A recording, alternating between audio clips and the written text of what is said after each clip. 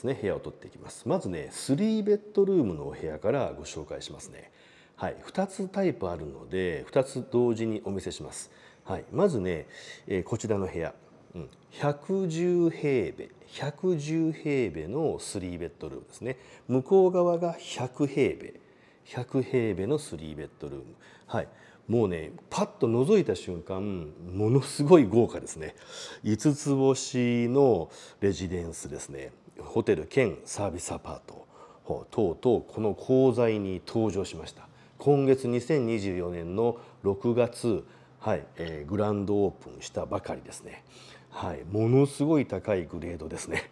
ちょっとね、はい、あの高いっていうのは値段も高いんですけどもね、お家賃も高いんですが、はい、まあね、あの5つ星でもうゆったりと、はい、あの完璧に過ごしたいという方ですね、はい、あのセキュリティ高く、はい、あのもうこちゃこちゃ考えなくてもいいんだというね、はい、そういうあの、まあ、ラグジュアリー感に浸りたい方はこういうところに、はい、いらっしゃればいいんだなと思います。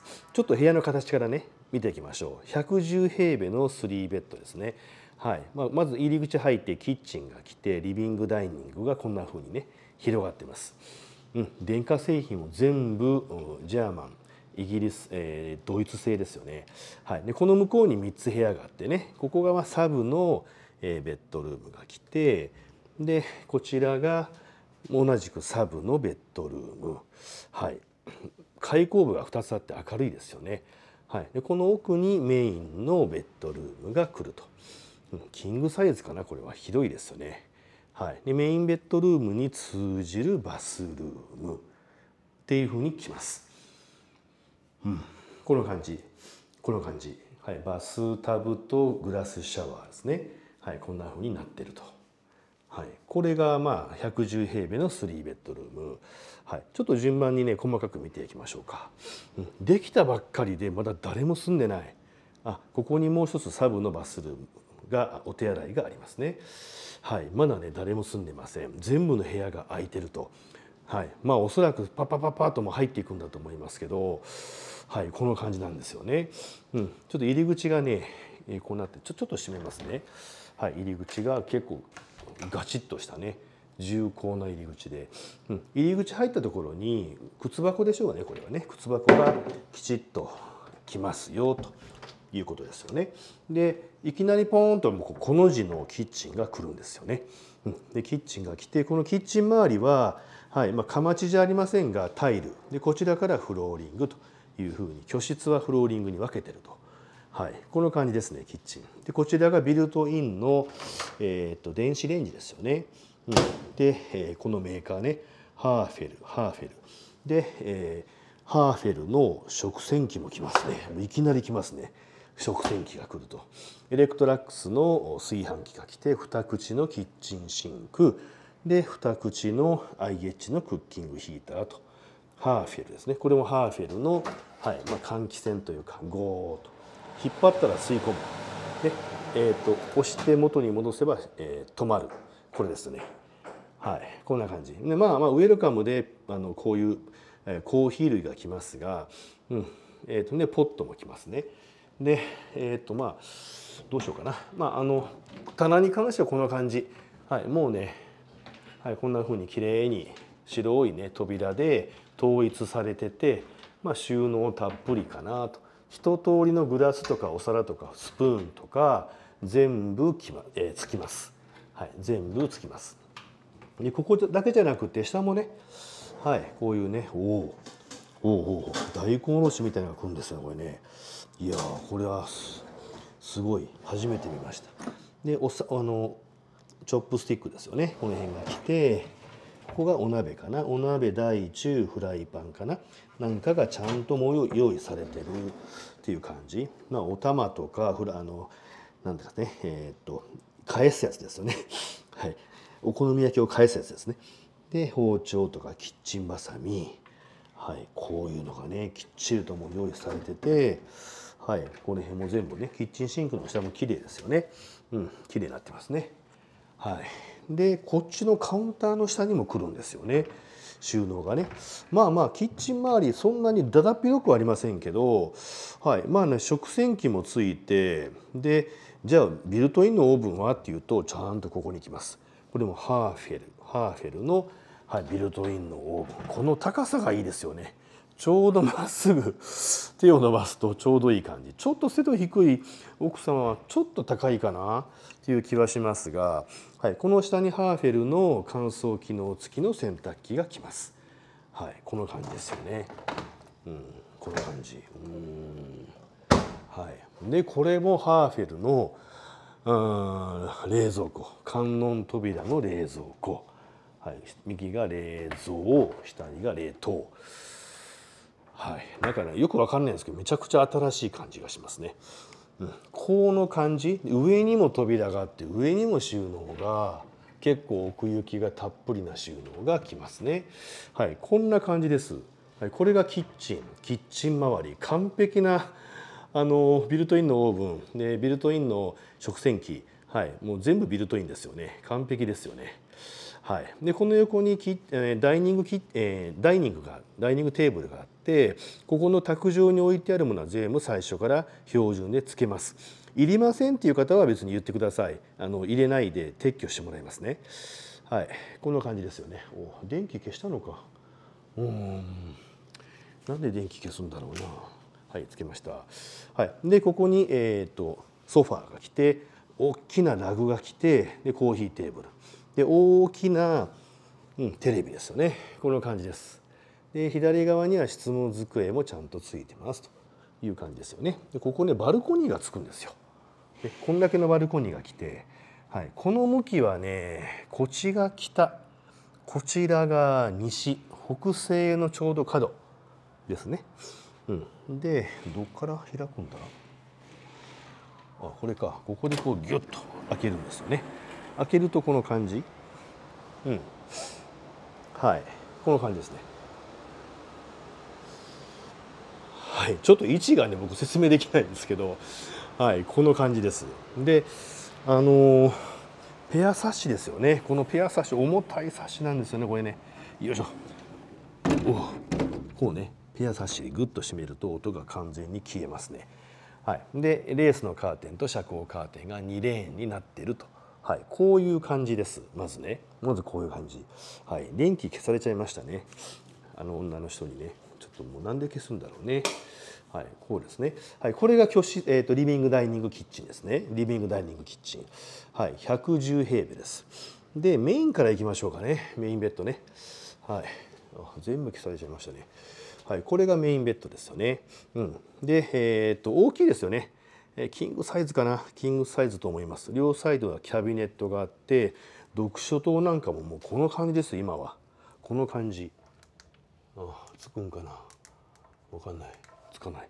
はい。まああのここがピカッと光って読書灯ですよね。はい。でねここの辺になってくるとねクローゼットに扉がつかないんですよね。と私もクローゼット家にありますが開けっぱなしにしてます。もう閉めるとかびるので、はい、もう考えようによっては扉いらないかもしれないね。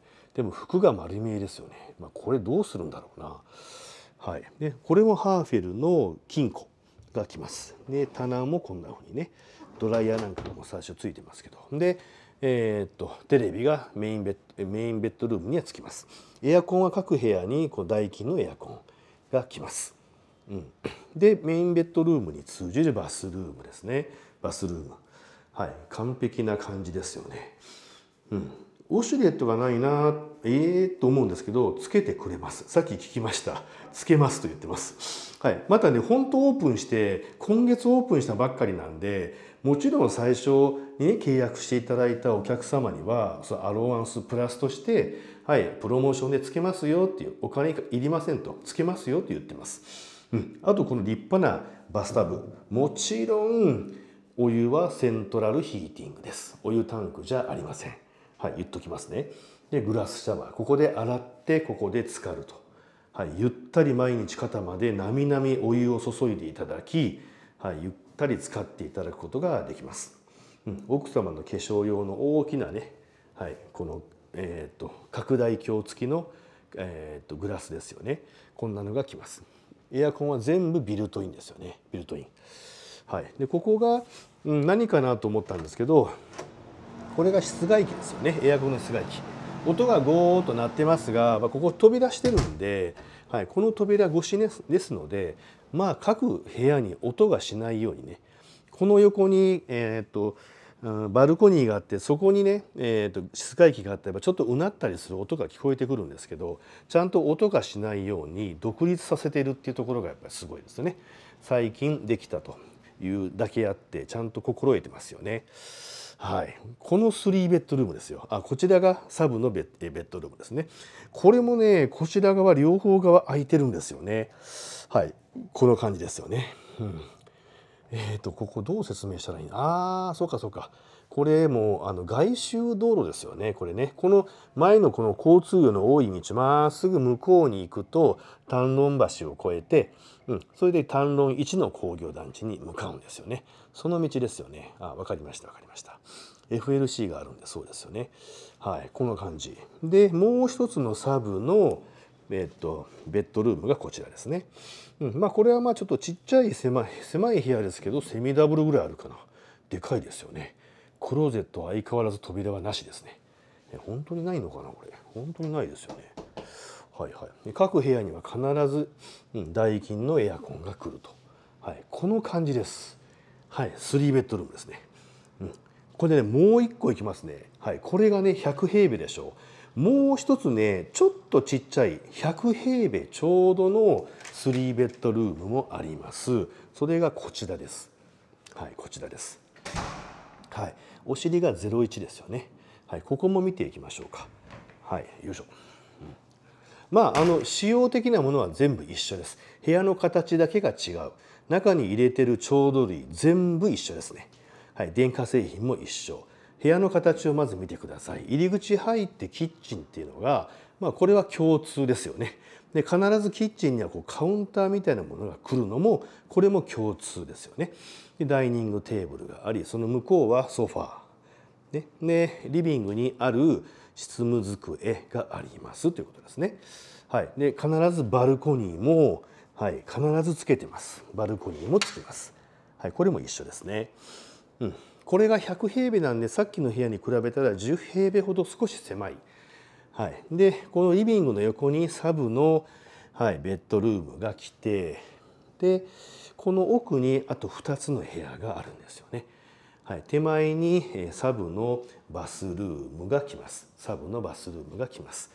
うん、でここにもう一個サブの、はいえーと、とベッドルームが来てでここにメインのベッドルームですね。メインのベッドルームが来ます。はい、この感じですよね。うん、まあ100平米ですけども、まあ、3つに刻んでるっていう感じですよね。3つに刻んでここはもうスタジオタイプ2ベッドルーム3ベッドルーム1ベッドルームっていうものがないらしいんですけど、はい、あの23でスタジオっていうね3種類の部屋があります。それぞれちょっとずつね、えー、とタイプが違うんですよね。でここはバルコニーはつきませんけども天井高のサッシが来てで窓はちゃんと開閉できる。窓はありますよ。もちろんね。はい。そうですね。この感じですよね。これまっすぐ向こうに道向こうに行ったらロイジェントパークスの前に行き着くわけですよね。外周道路なんで。でメインベッドルームには必ずもう一つテレビがつくと。でもう一つメインベッドルームに通じるバスルームがこちらになります。はい、バスタブ付きお湯はもちろんセントラルヒーティング。こちらが洗い場。洗い場。でお手洗いがここに来ると。このお手洗いにはウォシュレット設置は OK と言ってます、はい、最初なんでねプロモーション価格として、はい、最初に契約していただいたお客様のためにはウォシュレットをつけますと、はい、どこまでそれが続くか分かりませんけど今はつくと言ってるので、はい、そのままアナウンスをさせていただきますね。うん、でもう一つサブの、はいバえーと、バスルームとトイレがここはグラスシャワーだけですね。はい、こんな感じなんですよね。でこの3ベッドルームっていうのは、はい、あのまあうんとインクルードサービスはしっかりつきます。税金と管理費もちろんレッドインボイスは発行いたします。うん、週、えーと、と6日土日を除くあ違う違う日曜日と、えー、 public holiday を除く月曜日から土曜日週6日ハウスキーピングサービスは入ります。で、えー、洗濯とかはないです。自分でこれでやってくださいですね。あとはバスタオルとかバスタオルの交換。あとベッドシーツ枕カバーのリネンの交換。これは週3回入ります。週3回です。あとはインターネットの利用料とかケーブルテレビの視聴料とか、はい、蛇口をひねって出るこの水道料金。お湯バスタブに毎日使っていただくための出すお湯。ね、要は水と一緒ですよねそれも全部いくら使っていただいても家賃に入ってるので、はい、その分、えー、水道料金が加算されるということはありません。はい、そういうふうなサービスがものもの入りあとはジムとか後で移しますけどもねフィットネスジムとかプールとかの利用料とか、はい、そういったものも全部、はい、あの家賃に含まれています。